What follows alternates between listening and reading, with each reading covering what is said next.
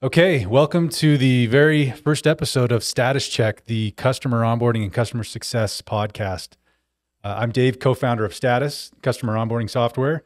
Today we're here with Greg Daines, CEO of Churn RX, and we'll get into that a little bit. We're going to start off with a segment, get you value right away, and do a little something I like to call press the guest right away. Greg, you've been around customer success teams for many years. What's the biggest misconception that you see about customer success right now? Ooh, good one. Yeah. Well, you know, it, it's interesting because we have a set of instincts that we've inherited, which they're they're not wrong. They're just very difficult to uh, extract value from. So, the, the the the instincts sort of come down through the ages from the from the I would say transactional world of selling and and one of those instincts is the customer's always right, mm. right? The the that it's not our place to say you know how the customer gets value or what what matters to them, and that instinct is founded on a really good, I think, great idea. The problem is that it, it ends up being essentially an, enough of a of an obstacle as to be a misconception, simply because that instinct leads us to stay out of areas and and and and not in, in uh, get involved in things that are critical for customers to really get value and get success. Sure. So um, so sometimes we have to actually take a, a little bit of a contrary view. We have to say, what if the customer's not right? What can we do to mm -hmm. add value to the customer's current understanding of how to win? And so I think that's a that's a good example of one. Yeah, that's a great misconception, and we can we can dive into that a little bit as we go throughout the show. Uh, so again, I'm Dave, co-founder here of Status, here with Greg Daines. So we got to know Greg, and, and what we really enjoyed about Greg is uh, a unique approach that goes above, you know, the or deeper than the generalities of customer success, and not afraid to dive into the data. Um, Greg, you've met with our team a couple times. Really like your data-driven approach, your experienced, uh, you know, leadership in this space, and so that's how we kind of got to know Greg, and thought he'd be uh, an excellent value add to customer success, customer onboarding, customer implementation, post sale leaders in general out there who are looking to kind of make 2023 a better year uh, as far as customer success goes. Um, Greg, let me give you the floor real quick. Can tell us a little bit about uh, who you are, what Churn RX is, and kind of how you got to where you are in the customer success space. Okay. Well, the quick version is uh, I started out as a serial entrepreneur, started companies, all SaaS, all B2B. Mm-hmm. Um, and obviously, like everyone else didn't really know what I was doing. Discovered there's a lot of hard things about doing this, right? Creating companies, you know. Yeah. But every out of all the things that were difficult, you know, designing a product, entering a market, raising money, building a company. I mean, the one thing that I found that was the most difficult thing to do was to consistently make my customers successful at scale. And and and I had this experience over and over again where I'd sort of uh, face a problem, customer related, and I'd go out and see what the smart people were saying about it, best practices, bring them back, and they wouldn't work. And this happened over and over and over again. It drove me crazy, kind of, because you know why? Why is that the case? Why don't things that that everybody says why don't they work? And and so I spent a lot of time kind of scratching my head about that, and and sort of over time because I'm a little bit slow, came to to understand that there are several of these big sort of um, accepted ideas that are just wrong.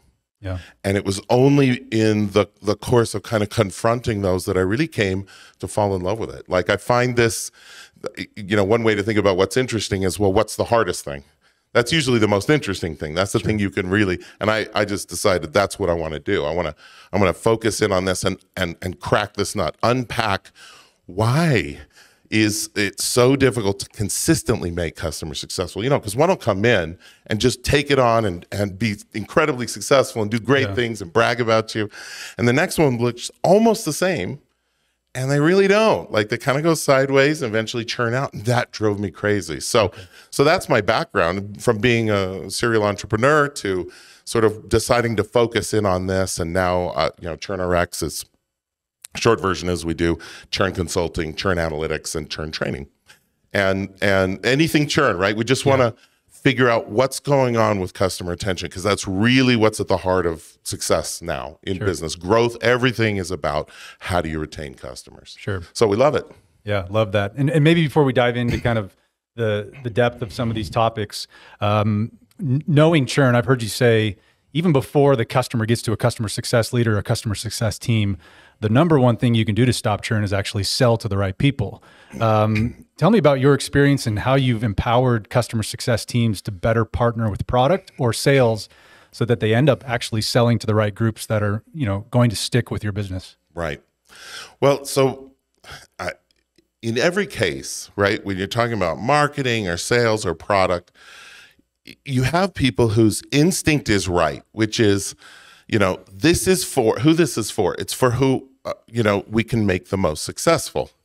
Right. Now, we do sometimes get off track a little bit. We do sort of sort of get pulled back into that more traditional transactional mindset of, well, it's for whoever I will buy it. Yeah.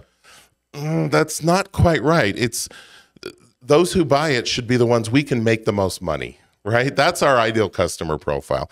And what I love about marketing, right, just as an example, is they just have in their DNA, marketing knows that you sell benefits, not features, right? That you sell the the the the the, the outcome, the the win, right, rather than the components. But the challenge they have, and this is not just limited to marketing, but it's a great example. The challenge they have is, but what are those benefits, right? Now, the the when you create a company, you know, you you, you built the product, you you're sure you know, like if anyone knows, it's me. I know what it's for. I know what the benefits are. But time and time again, we face the most interesting situation, which is, well, we'll go in, we'll ask a leadership team to, you know, comprehensively define what are the key benefits. What you know, what's the win? Why why do customers uh, want this? Like, what's the outcome, right? And they'll say what it is, and then we'll go study customers, successful customers in particular. And what we'll see back in terms of insight is sort of, but not exactly. And in fact, in many cases, the critical wins, the critical results and, and outcomes that, that customers are really staying for aren't exactly the way we thought about it. And there's so much insight to talk about the product team. They kind of get that. Again, kind of mm-hmm. wired into their DNA is we should watch. Right? They have this instinct like we should watch and see what people do. That's a great instinct. But their tools are limited right? Because what do they have? They have one lens, and that is what people are doing inside the software, inside the system or the solution. And that's great, by the way. Uh, n- n- no disrespect to that as an incredibly useful feedback uh, avenue. But but that's actually the, not the whole story. What, what we're talking about here is what's the big win for them. In the case of my world, it's always been business to business. So I'll talk about that. But you know, what's what's the business benefit? What's the business objective that's coming out of this? Is not the same as uh, something that you can discern entirely watching how they use the system. You can get a bunch of insight, but even most good product managers know that's not the whole story. And so, one of the things that's really powerful is to get feedback up the chain from from the way customers onboard and and then use and then adapt their business around and then benefit. That set of insights is incredibly powerful. Feeding that back up into marketing and sales and products really powerful. Yeah, love that. So it, it it is okay to say that just because we can sell it to them doesn't mean we should. Absolutely. So the the the simple instinct on that is what's the intuition? Um, can you think of a customer you've ever had at any company who shouldn't have bought? Oh, absolutely. I mean, right? Yeah. And you're watching someone fail, and this isn't every time, but sometimes you watch a customer fail and you think they couldn't have won. They actually weren't in a position to get the benefit, right, that we produce. And there's lots of reasons for that. But just because a customer fails doesn't mean they were a bad fit. But there are some customers who couldn't win. And that's a distinction that I like to make, right? You could have won, but you didn't. That's not a bad fit. That's the, we got to look some other places for that. But if they literally can't get the benefit or, or don't have, you know, all the necessary components or whatever, that's a bad fit. We shouldn't sell to them. And so one of the things that we need to do, and, and it's actually one of the biggest contributors to churn generally, we have a lot of data on this, very interesting, is selling to the wrong customers. Yeah. Now, those those elements of, of fit can be subtle, and we do need to unpack them and be really careful to be clear. what exactly does it take to win? Mm-hmm. right? And then, well, we don't want to go further than that, start blaming a lot of failure that we have on that. But if we're clear about that, that can really help us tune in to, you know, who's our bullseye customer, you know, what's a good sale, what's a not good sale, right? Mm-hmm. Yeah, that's uh, that's great advice. Focus in on on who truly has measurable results. Yep, we love that. Uh, love to hear that as well. So this obviously our focus uh, from our company being customer implementations, customer onboarding, a critical moment in the customer journey. You've done a lot of uh, deep dives into the data here. Uh, this is now an area of the post-sale lifecycle that is getting a lot of attention. Why are you seeing that that's the case with the folks you're working with, with the data that you are, you know, kind of extracting from this process? I love that this has become a theme recently because it's so important. So there's a couple of things to step into this to see why it's so important. Why is mm-hmm. onboarding or early, whatever you want to call that earliest phase of yeah. engagement, so important? Well, one of the reasons we know it's important is that uh, one of the things our research has revealed is that churn isn't linear. Okay, so what that just means is that uh, you know you bring in a bunch of new customers whatever number there are, and they don't just line up in an orderly fashion and, and let themselves out the door, right? One at a time. What happens is for the vast majority of companies, and not all, and by the way, as a side note, this is why it's so important to know what kind of churn you have, but the majority of SaaS companies have a kind of churn we call decelerating churn, which is really simple. It just means that most customers who are going to churn will do so early. So you get this kind of quick drop off in customers and then it slows down and slows down and, until it kind of flattens out. And what that means is that there was a group of customers that were not a fit or that were not going to get successful and they tend to know early. Yeah. And and as you burn through those, what you're ending up with are the customers who are a good fit and who are getting good results. So one of the reasons we know that the early phase is so important is it's actually where most of the churn happens for most companies. Okay? That's one reason. And, and it's quite interesting too, because just that fact has a really important implication in terms of what your customer lifespan is. So we, we know customer lifespan is the average life, and usually we calculate it in months yeah. of a customer, right? How long do they stay? Now, there's really two things that could affect that average, right? The first one is the one most people instinctively think about, which is how do I make a customer stay an extra month or 10 months or 20 months or whatever? So you're thinking about adding life onto the end of their life. But if most customers who churn, churn early, relatively, then actually the other leverage point is the much more important one, which is how do I keep customers from leaving quickly? Yes. Like how do I extend you know th- that that early lifespan. Yep. And that's a completely different sort of uh, way of thinking. There is a metaphor for this, which is really, or an analog for this actually, which is really interesting, which is, uh, you know, the study of human lifespans, right? And we know that over the last, I don't know, hundred years or so, human lifespans went up massively, right? Yeah. From from I don't know, in the 30s or 40s to way up into the 70s. In some cases, I think Japan was like 80 years old, right? Average lifespan. What people naturally think is that what's happening is we're, we're figuring out how to make old people live even longer. But actually, nearly all of that transformation from you know a, a, what I think was nearly a doubling or more of human lifespans didn't come from helping old people live to an older age. Actually, the majority of it came from reducing infant mortality. Mm. So what what you realize is that they have the, you have the same curve, or at least you did hundred years ago, where right. most people who were going to die uh, early, shall we say, do so in the very first uh, you know days, minutes, weeks of life, and and that what that's doing is that's actually distorting downward the average lifespan. If you made in in essence, if you made it to the age of five. You, 100 years ago, you were as likely as now to make it to 75. Yeah that make sense? Sure. So what we do with customers, same thing. What we do is we look at, well, look, all of the death is early. All of the all of the cancellation and the churn is, or most of it is happening early. We should be looking early. So that's one way in which we step into it. And just from the data, you know, we, we see, um, you know, 80 to 85% of all churn happens within the first 90 days. So it's wow. it's just the overwhelming opportunity. Now that doesn't say why. Mm-hmm. That just says where. Okay. Yeah. But at least knowing where that really shifts our focus. Yeah. It means that even if you have no theory as to why, which we do, I'll get to that in a minute, we know that onboarding is the critical moment, Okay. right? Whatever's happening, it's happening there. Yeah. The other side to this is to see an even more interesting reality, which is that customers who churn later are almost invariably churning for things that started early. In other words, They the causes were early. Yep. They made their decision a long time ago. Right. So, um, classic situation you talk to a CSM, why did that big important customer churn? Well, I mean, I knew they were going to churn almost from the first moment. Yeah. How? How did you know that? Well, they never had support from leadership and they never got their ducks in an order and they never could integrate with this other. I mean, it, it's like, well, but if we knew that, why why are we still out here thinking we're going to extend the life when all the, the mistakes were early, right? The classic zombie customer. Yeah. Right.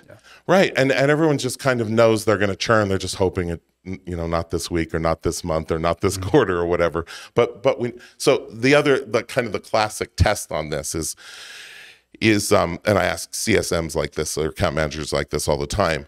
Have you ever gotten off a first call with a customer and turned to your neighbor or to yourself or to your dog or whatever and said they're not going to make it? And everybody says, "Oh yeah, yeah, happens all the time." Yeah. Why though? How do we know? How you just spoke to them for the first time? How's it? Po- By the way, you're right. Actually, you're almost invariably right. The question is, how do you know? And the answer is because the causes of failure are almost all visible right from the start. Mm. So I mentioned things like you know lack of leadership support or some key technical problem like a lack of an integration or they don't put the resources into it or mm-hmm. the wrong people showed up to the meeting so it doesn't look like they're serious. Well those are all really good signals right that something's wrong. So th- so there's really two issues here. One is all all of the failures early and the causes of all the failure regardless of whether it's early or late are early. So mm-hmm. it's all early. Like everything's about that. Yeah. and the more we focused in on that, the more we could see all of the elements that give you the most leverage to reduce churn happen in the first weeks of the of the customer lifespan. Super high leverage opportunity. Yep. Uh, yeah, obviously that's why we're building in this space. One thing I want to ask for the heads of onboarding, for the directors of implementation out there, typically in a B2B space, uh, often there is this declarative moment of onboarding or implementation is done. Now it's with the account manager. Now it's with the CSM. You've sat with a number of these companies, these teams. How do you know when an onboarding or an implementation project is successful? What are those indicators? Well, it's such a great question, and you've answered your question by the way you asked it. But I'm going to come back to it because because the hint is in the way you asked the question. Because actually, when I was running it multiple times, one of the hardest things I struggled with was how to know when it's done. A lot of times, customers don't want it to be done. They build a relationship. They also, uh, with the person who's doing the onboarding, or they sense that a bunch of resources are available to them now that won't be after they get transitioned.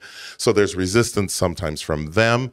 We sometimes have resistance because we can see that we didn't quite get them far enough down the path that they really can do it on their own or something like that. Those are really common instincts, and they're right.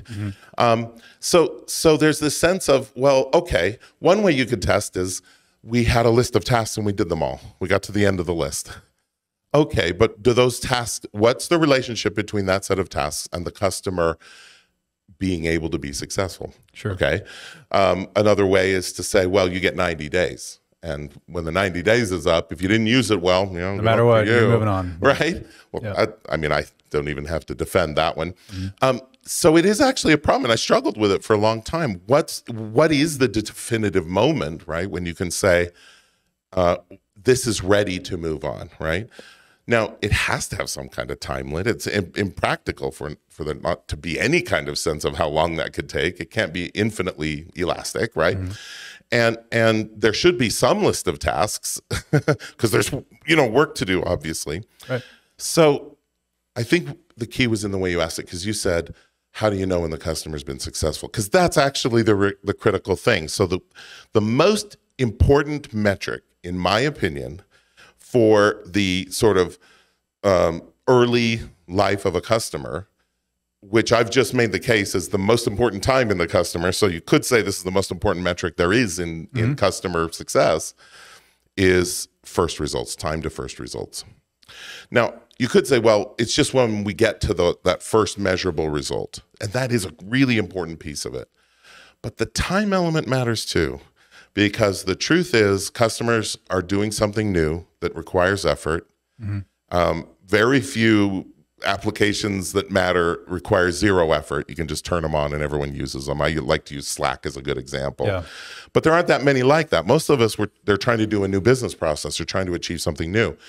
And and and, and so that effort is a tax on the relationship. And the longer you go with them just hoping for results, the more you drain that that yeah. well of of willingness and and enthusiasm. And it can get to the point where there just isn't any left and they still haven't gotten there. Mm-hmm. So it is very important not only to get customers to their first measurable results, but to do so as quickly with as few obstacles and stops along the way sure. as possible and and more advanced opportunities for them to do more that's great because mm-hmm. what our data shows, and this is very interesting, the best predictor by far of long term customer retention is measurable results, any measurable results. But what's interesting is, and, and, and it's quite clear that the more results you get, the longer you stay. Actually, it's pretty nicely correlated. But the biggest win is the first results, any results, right? So we had a client that figured out how to compress their onboarding into from what was I don't know 37 steps or something down to like 4. Sure. And the goal here wasn't to do everything they used to do. The goal was to do everything you need to do to get the first dollar of revenue coming mm. in.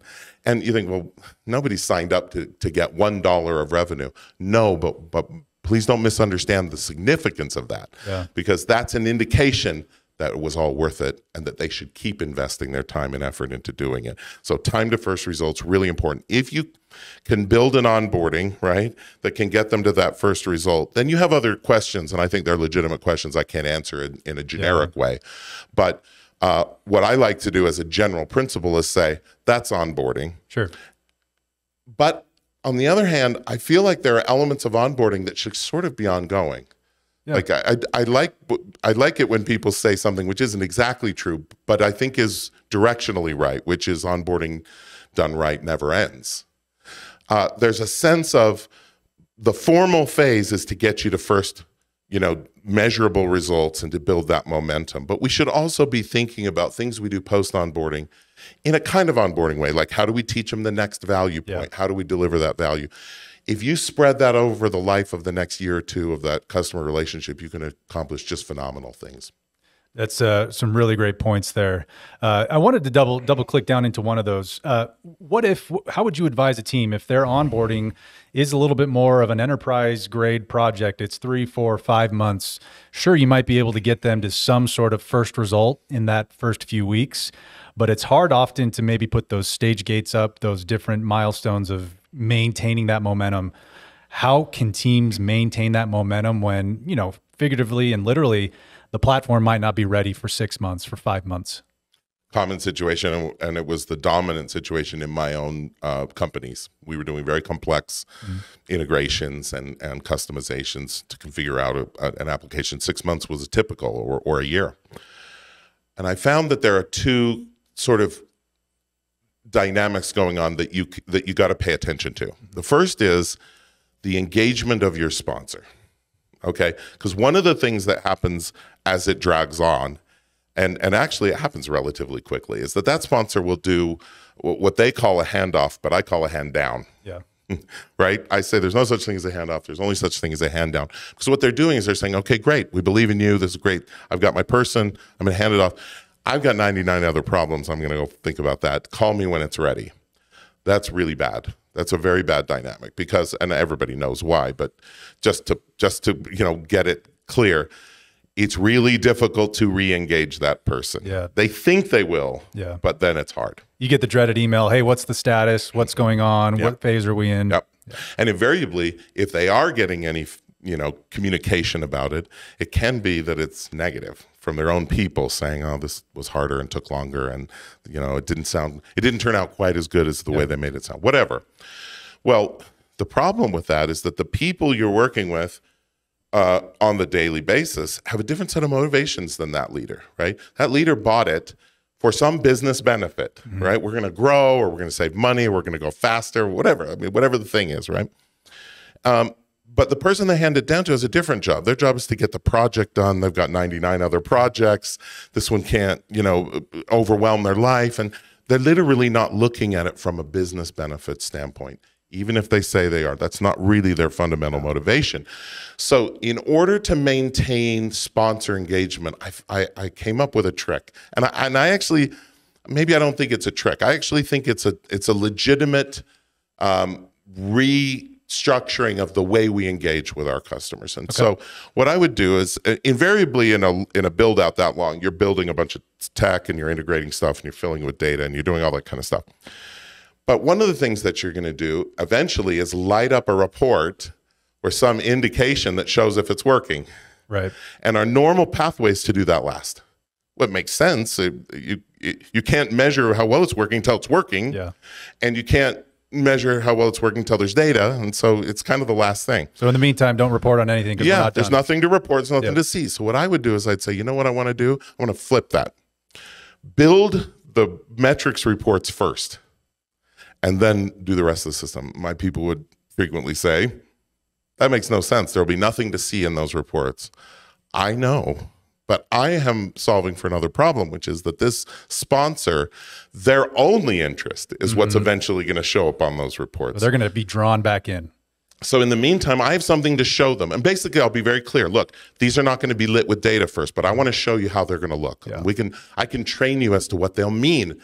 That continual kind of re-engagement on a more regular cadence over the period of build keeps their interest it, it also is an opportunity to train them as to what will matter. So at the end, instead of thinking what matters is this negative feedback coming from the project team, but the real factor is when is it going to produce the result yeah. we paid for. Yeah. And that's a really powerful way to keep that momentum going. Now, does it work forever? No, nothing works forever. That's why it's so important to figure out how to compress. So then the other technique is can we compartmentalize or break up the project into pieces that each one of them has a little bit of a deliverable or a little bit of a measurable results moment of its own. Okay. And that might be not nearly the end business result like we made more money or we saved more money but it might be some proxy of an indication that that's where we're going and that it is working so far. So those are kind of the two main techniques. Okay. Really love that. Engage the sponsor keep it simple draw them in with uh, measurable results or what measurable measurable mm-hmm. results will look like mm-hmm. eventually. Yep. Greg you you've done some really interesting uh, surveying and uh, brought some really interesting data of customer success to light recently. I'd love to cover some of that, and in the show notes we can link to kind of some of your findings.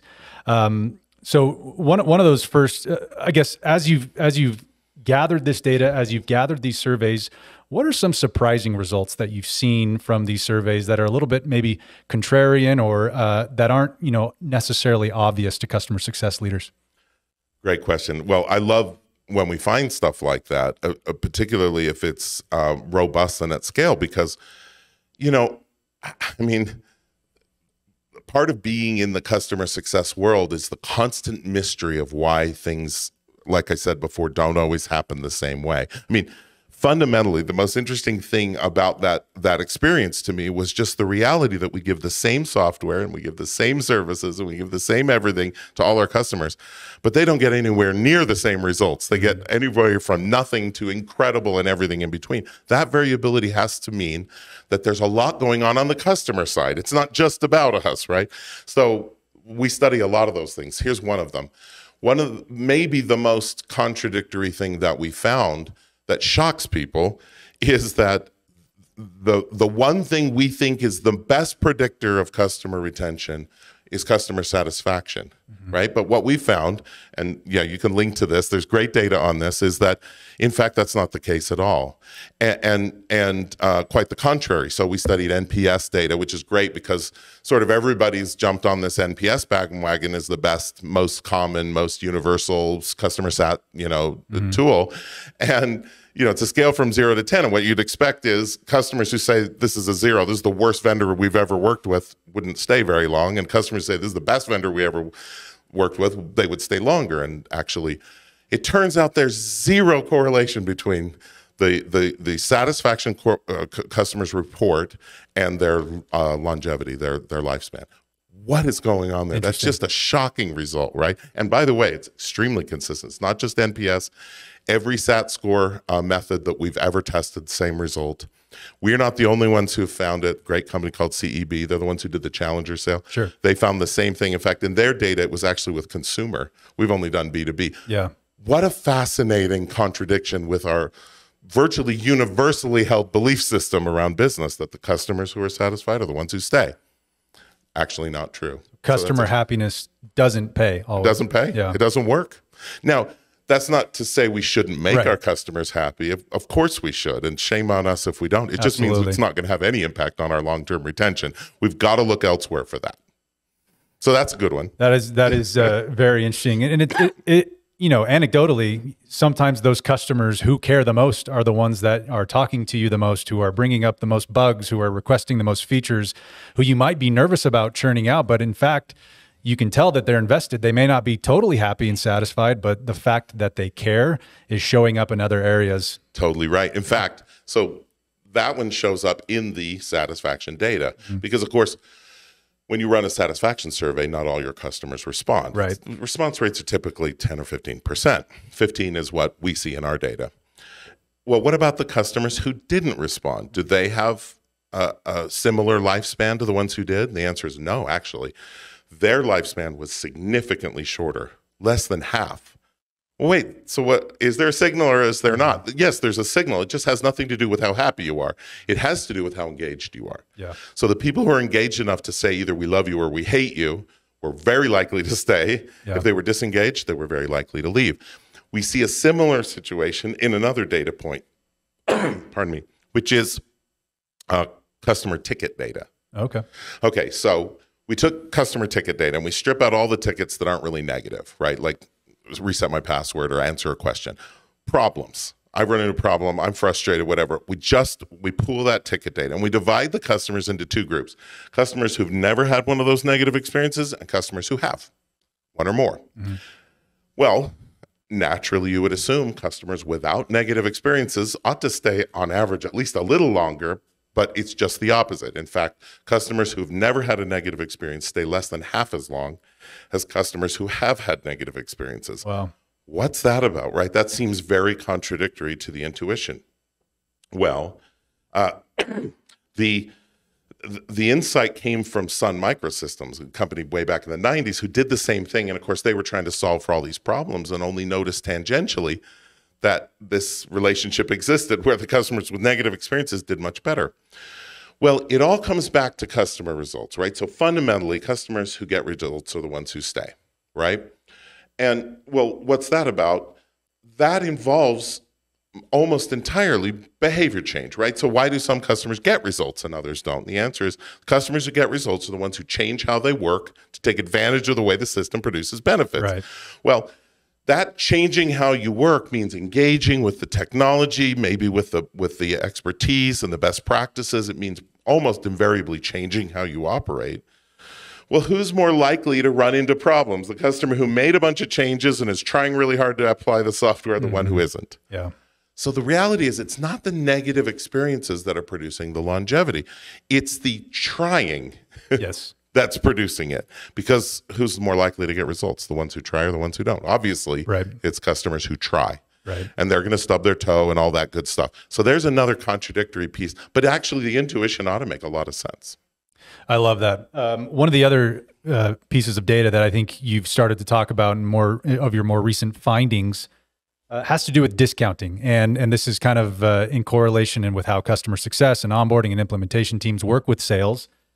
It uh, tell us about why discounting uh, may be a negative thing for your business and what it's most correlated to. Yeah. So this came from an intuition that we've had, but a lot of people have had. This is not original to us, which is it seems like when you bend over backwards Right. to bring a customer in who wouldn't have come in at full price, they seem to have a different attitude. They seem to have a different approach to the whole thing, right? So forget discounting. What if you said, just as an example in a sale, this is going to be super easy. You're not going to have to do anything different. Just switch on the system and benefits. Money Right. will shower down from heaven, right? Right. Well, what's that? What's that customer going to behave like? They're not going to behave like they need to roll up their sleeves and try really hard. They're not going to re-examine how they do things, right? Well, unfortunately, that's bad because that means they're not going to uh, benefit, right? So there are things we do in the sale that condition the way the customer approaches their onboarding. And back, we're back to onboarding. Right. This is where the rubber meets the road. So, what about discounting? Well, in a way, it's similar to the saying it's going to be easy. What we're saying is essentially, it's not that valuable. It's not that important, right? If we could discount it 80% for Yeah. you, maybe there's not much to it. We're sending a signal that devalues not just the tech, by the way. We think that the impact is even more important when you devalue the expertise. So, back to onboarding. One of the things you expect when you get into onboarding is that I'm going to meet someone who's done this a hundred times or a thousand times, and they kind of know what they're doing, right? I know my business, but these guys know this thing, Yep. right? And I better, you know, sharpen my pencil and pay close attention. Well, what are we saying when we've just discounted the heck out of that thing? We're saying, you know, you don't need to show up. Right. Don't, don't pay too much attention. Don't worry about it. I'm sorry, but that is the signal, Mm-hmm. right? People say, no, no, that's not the signal. Yes, it is. And here's how we know because the data, pardon me, the data proves it. In the data, uh, we see consistently every time discounts start to creep up beyond like a 15, typical 15% Right. discount. There's a range where it doesn't really seem to have an impact. But what we call deep discounting really does. And we've seen it in two ways. One is just measuring discounts as a share of the of the list price. Okay. There's a similar version of this where you look at free months as a form of discount and those can be mm-hmm. measured the same way as a percentage of the overall value, right? So if you're if you're discounting for 3 free months, right? You're basically giving a 25% discount, right? Right. So, so that's one version, very consistent. Every time we test it, significant predictor of higher churn rates, right? So is it fair to say obviously there are certain sales contracts depends on the robustness of your of your product. What I'm kind of hearing is if you get the customer to engage and, and even maybe even pay for an implementation service or pay for onboarding, have you seen that have a more positive effect on how invested they are? I'm, I'm guessing obviously uh, you've probably seen that happen. Yeah, totally. Back to onboarding. If you, uh, we have every time we've tested this, and by the way, we have lots of good data on this. So we, because there's a lot of companies who've tried both. There's even companies who've tried selling um, onboarding for different prices. And so here's the interesting thing: no matter what, if you charge for onboarding as a separate line item, meaning they're conscious they're Right. paying for it, you get people who are more engaged. They show up with their pencil sharpened, they t- pay attention, and they get better results, and they stay longer. And and it's and it's very consistent. Now, here's a question: Does it matter how much you charge for onboarding? Right? Sure. Like people say, well, yeah, for sure, and and that's right, by the way. So then I ask this question: Where's the breaking point? And I, you know, we get all sorts of answers. I love to ask leadership teams. It's like, oh, it's five hundred dollars or it's a thousand dollars, depending on the business. Some people say it's fifty thousand dollars. Right. Right. Right. If you're SAP, it's five million dollars. Right. Whatever. Well, it turns out there is a breaking point, and it's one dollar. Just something. That's the point. That's how we know that the impact is a psychological one, mm-hmm. right? Because if you feel like, well, I paid something for this, I better show up and get the value for it. That's the dynamic that we see. Fascinating. The other thing we see with discounting, by the way, we've tested discounting from a completely different angle, and this is really fun. We pulled data of deals closed in the last two days of a quarter versus deals closed at any other point in the quarter. The classic discount at the end of the quarter. Right. yeah. And we don't even know if they discounted. We just say, when were they closed? And churn is way higher for deals closed in the last two days of the dis- of the quarter. Well, that's interesting because that points to it's not the discount itself. It's the way we sell. It's how we devalue uh, any of the elements, but particularly the expertise elements, and most of those revolve around onboarding and implementation Right. the more we do that. So people say, well, if I have to discount something, the software or the onboarding, which should I do? And we say, oh, absolutely discount the software. Sure. Because you don't want to send the signal that the things we're going to tell you aren't that important. you don't need to do it our way. That's a really bad signal to send. In fact, in sales, what we want to be doing is pumping that up, talking about how valuable that expertise is, how many times we've done it, how we've worked with the most successful companies in the space, and how we've really distilled that expertise down. And if you want to do well, show up and pay attention. We're going to really give you high value expertise. Right. And what you said earlier in the show, such a critical moment, the highest leverage moment of the customer's life cycle as it comes to predictive success uh, it all kind of ki- ties back to those first moments of a customer, which is it all does. It's fascinating. Yeah. Well, uh, we'll end on this. Uh, 2023 is being declared kind of that year of customer success, the growth at all costs, specifically in you know in the tech sectors. Uh, you know, growth obviously is still important, but customer success teams are now in the limelight, looking to improve that customer retention, improve that customer onboarding. Uh, if if you're advising teams right now in this moment of customer success and helping them retain and upsell, uh, I, I, think I know where you're going to go with this. Uh, but what's that number one thing you'd say? Drop all that you're doing and focus on this one area in your customer onboarding and success practices. Okay, so I'm glad you framed it that way, so I don't have to use up uh, the trick of I have two things. Sure it is always in the onboarding and, and, and implementation phase that, that you have the highest leverage. So we can leave that aside. My number one is to figure out what the customer's primary objective is and measure it. Okay. And I think, well, that doesn't even include all the things we ought to do from giving them the right expertise to helping them change their behavior. But actually, it's the precondition for that. Because what we found is as long as you don't hold yourself and the customer accountable to a real metric of what they said they wanted, all sorts of things creep in. We don't have we don't have any hard edges. Everything's soft, right? So if they decide, hey, we want to go in this direction, scope creep, you're off track. Uh, well, you know, that's not that important. We kind of our, our priorities shifted. You know, you, you move off. Well, we couldn't do that one thing that we we knew it was really important, but you know, the resources aren't there. We can't do it. Whatever happens that gets you off track is much harder to to um, to happen. It's much harder for that to happen if you are measuring actively the result that they want. So the first thing out of the gate, what's the result you guys are looking for, and let's start measuring. Let's mm-hmm. figure out. Mm-hmm.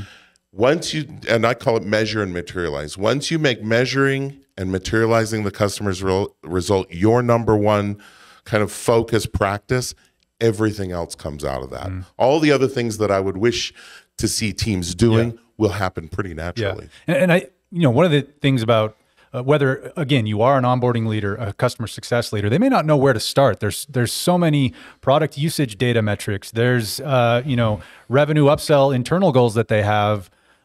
Uh, what do you tell a, a team who, who maybe doesn't have that muscle yet? Where do they start as far as measuring results?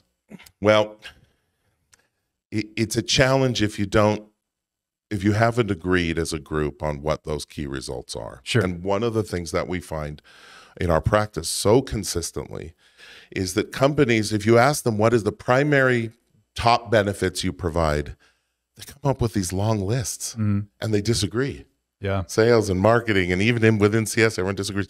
You've got to figure that out. We've got to nail it down. You don't provide 100 benefits. You don't even provide 10. I'm sorry, you don't. Mm get it down to the top one or two or at most three critical business benefits that you drive. And once you've got it down, it, it actually, the challenge of figuring out how to measure it goes away. It's like, sure. it's not that hard. It's obvious. In many cases, the thing we most want to measure, it isn't actually measurable, right? So we, you know, they do it to grow and we can't really measure their growth as a, you know, really, fair enough. And that's actually not as big of a problem as it seems because the, the, the the fact is that many things that are important in business are hard to measure. And one of the real big value adds we bring to our clients is when we help them measure things that are hard to measure. So sometimes we're just figuring out a decent proxy, mm-hmm. right?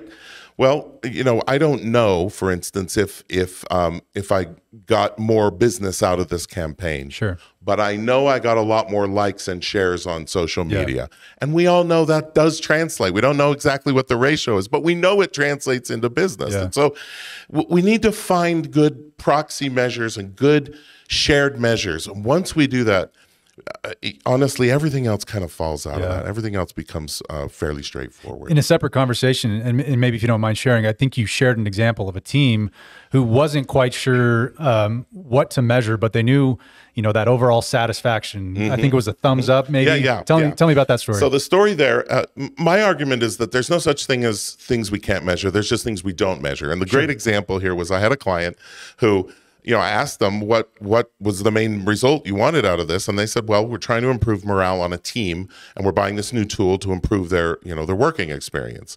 And I don't know how to measure that. There's really no way to measure that.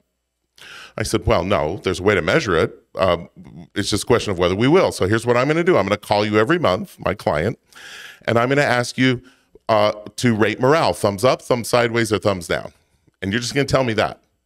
She was like, yeah, is that really mm-hmm. like, isn't a metric something that has to pop out of a system somewhere and like appear on a report? No, no, no, no. We're just going to do that. And we're going to see what the trend is over a year. And of course, sure enough, by the end of the year, it wasn't great to begin with. And it got better and better. And we had this, I put it in a spreadsheet. That was something she could take to her boss. And you think, well, you know, is that really going to fly? Yes, because what's their alternative way to measure something? It's not that that thing isn't important; very important. It was, a, it was an engineering team. They their their uh, morale mattered a lot, and so there wasn't an alternative, better way to measure it. So we just have to find ways to measure. We have to find what matters, and then we have to find ways to measure it that are better than any alternative. And you'd be amazed how consistently customers not just accept it, but really appreciate that part of it. I've actually become convinced that helping customers measure things that matter is one of the most important elements of customer bonding. It drives customer Oh, yeah. bonding almost better than anything else we do. Yeah, I love that. Well, Greg, this has been fantastic. Uh, the biggest themes I'm going to take away, and that I hope the viewers and the listeners take away find what matters, don't overcomplicate it, measure those results, and do so in the highest leverage moment of the lifespan, which is during onboarding and implementation. And uh, continue to measure those results throughout the life cycle will lead to a healthy customer base. Uh, Greg, we really appreciate your time. We would uh, love to, we we will definitely link to where uh, our uh, viewers and our listeners can find you. I'm Dave, uh, co-founder of Status. You can find us at status.cx, where we're helping teams shorten time to value and elevate customer experience. This has been an episode of Status Check, the customer onboarding and customer success podcast. Thank you.